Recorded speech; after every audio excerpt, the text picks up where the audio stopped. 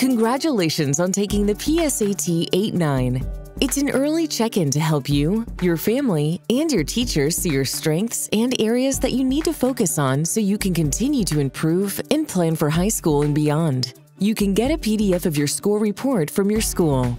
The first thing you'll see is your total score, which is a combination of your scores on the reading and writing and math sections. Percentile comparisons show you the percentage of students scoring the same as or lower than you. For example, 75th percentile means your score was the same as or higher than 75% of other students.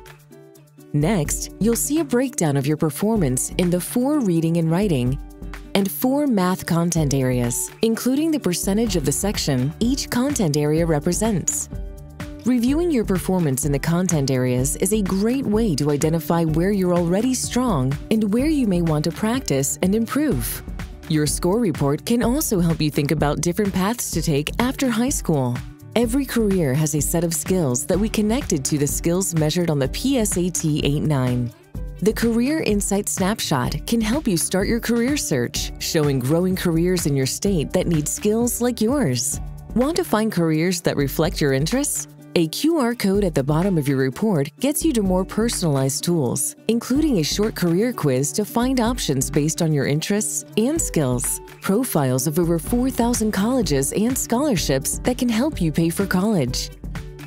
As always, if you are 13 or older and have a personal College Board account, you can log into studentscores.collegeboard.org to get additional insights about your scores and other resources.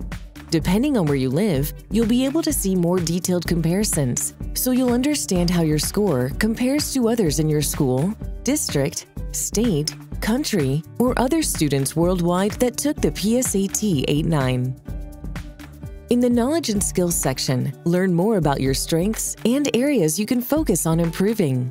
The Performance Score Band comes from our Skills Insight tool where you can view skills students at your level are typically able to demonstrate and example questions typically answered correctly. Want to improve your score? Click this link to go to Skills and Example Questions in the next score band, with answer explanations included.